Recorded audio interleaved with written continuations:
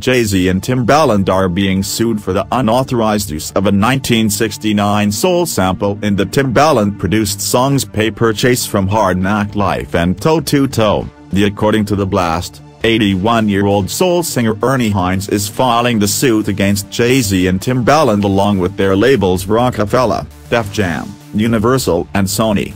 The lawsuit alleges that Timbaland sampled his song Help Me Put Out the Flame in My Heart twice in the 90s, and that Hines was unaware of the samples as he does not listen to rap music. The suit alleges that Hines never received any payment or acknowledgement of the sample, as such, Hines is demanding payment of $2 million.